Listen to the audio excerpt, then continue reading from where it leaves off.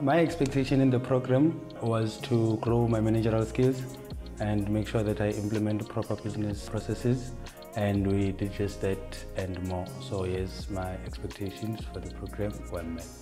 I've seen a huge difference in my business uh, in a way that uh, we've gained uh, direction. Uh, we know where to focus now. Uh, we've gained framework on how to build an enterprise. Two biggest lessons. Uh, the first one will be it is very important to be consumer centric.